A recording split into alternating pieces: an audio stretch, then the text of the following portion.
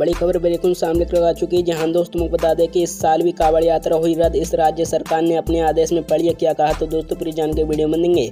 इस साल 2021 में कावड़ यात्रा होगी या नहीं होगी, सरकार ने कौन से आदेश दिए इसलिए दोस्तों वीडियो पूरा देखना, बिल्कुल भी स्किप नहीं करना।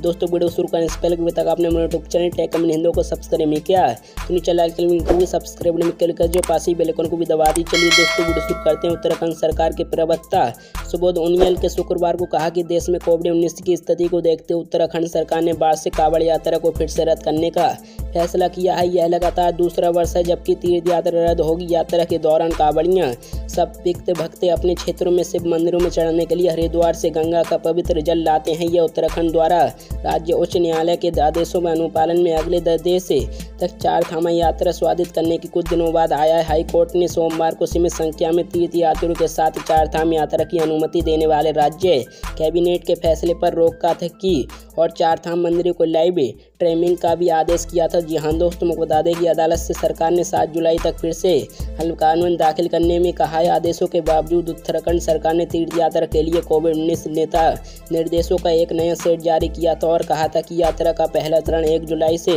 और दूसरा चरण ग्यारह जुलाई से शुरू होगा। अब राज्य एस के स्थापन आदेश के खिलाफ सुप्रीम कोर्ट ने रोक किया है। यूनियल के इस तबसा की शुरुआत में कहा था कि उस न्यायालय से भले ही चार धाम यात्रा पर प्रतिबंध लगा दिया हो, लेकिन सरकार ने।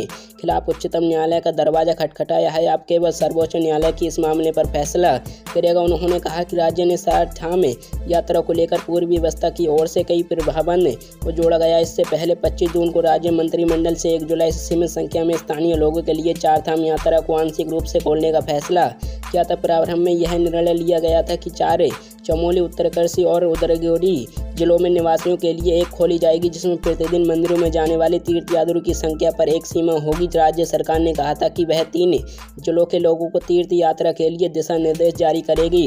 उनियाल ने बताया कि तीन जिलों में तीर्थ यात्रियों को अनुमति दी गई है। वे चमोली, उत्तरकाशी और रुद्रप्रयाग हैं। उत्तराखंड में चार तीर्थ स्थल बद्रीनाथ केदारनाथ तमोनीहोत्री और गंगोत्री हैं तो दोस्तों, अगर वीडियो पसंद आई हो तो वीडियो को लाइक और शेयर करना ना भूलें। रोज़ाना ऐसी नई वीडियो देखने के लिए आप अपना यूट्यूब चैनल टेक अपने हिंदू को भी सब्सक्राइब कर लीजिए। जो पास ही बेलकन को भी दबा दीजिए। जी हाँ दोस्तों, आपको कीमती समय देने के लिए धन्यवाद। आपका दिन अति शुभ हो।